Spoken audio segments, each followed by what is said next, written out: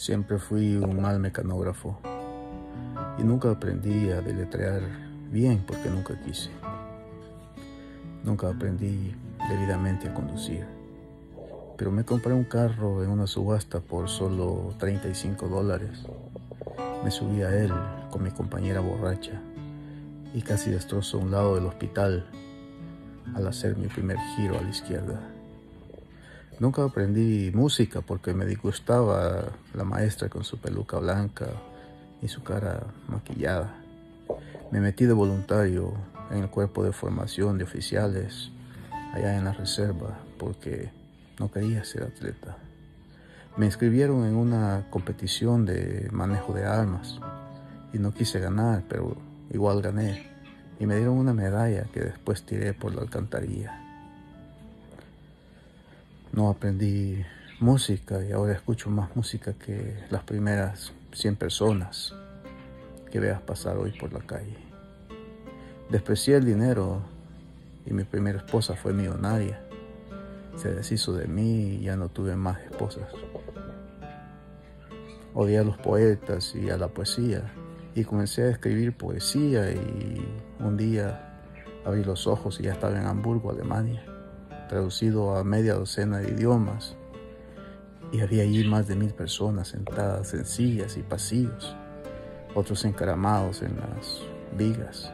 Les leí y se lo creyeron todo. No quise leer libros, pero traté de leer a los grandes poetas y novelistas hombres que han inspirado a miles de hombres a través de los siglos. Pero sus libros se me cayeron de las manos, yo me había quedado dormido. Fui a museos de arte y vi pinturas famosas y me aburrí. No me preocupa, no me considero un inadaptado. Les considero inadaptados a ellos.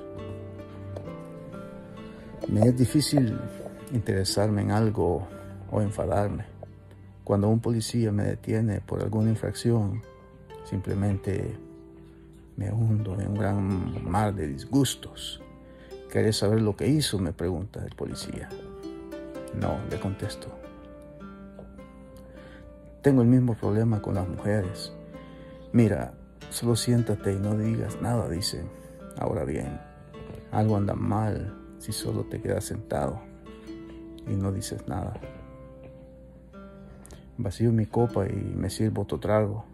Mira, dicen, hablemos, tratemos de, de ligarla. Yo no quiero ligarla contigo, le digo a todas. Ni siquiera quiero escribir y cuando escribo a veces una palabra extraña se mete y ahí la dejo. O cometo un error. Por ejemplo, trato de poner la G y pongo la H. Y si sucede al inicio de una palabra, pues entonces utilizo una palabra que comience con H no me importa. Incluso como apostador de caballos a veces no me importa. Una vez conducía de Los Ángeles a México, rumbo al hipódromo de Aguascalientes, y ya casi llegando algo se enganchó a la llanta y giré a la derecha por una calle y me estacioné frente a la valla protectora de un precipicio. Bajé del coche y me senté a la orilla del precipicio. El océano estaba a 40 o 60 yardas abajo. Nunca me ha encantado el océano, pero igual ahí me senté. Porque ya no deseaba ir al hipódromo. No pensaba en nada. Nada más estaba sentado, sin sentirme bien o mal. Poco después me di cuenta que tres ardillas subían por el precipicio hacia donde yo estaba. Se acercaban más y más, dando saltos de 6 pulgadas por lo menos se detuvieron, me miraron, se acercaron más dando saltitos, llegaron increíblemente cerca a las tres. Y sus ojos eran realmente hermosos, nunca había visto ojos tan bellos en una mujer. Y los ojos de los hombres nunca me han interesado.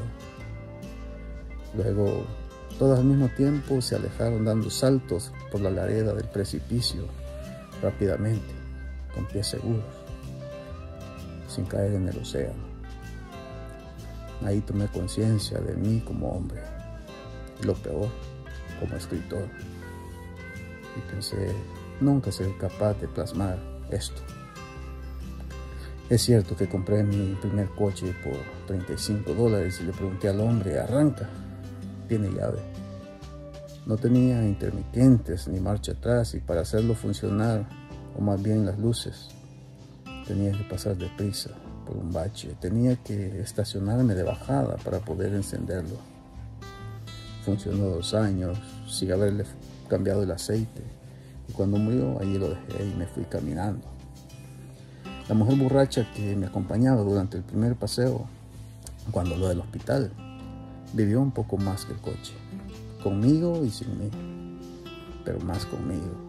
Ella murió y la enterré una tarde tibia al norte de Anaheim.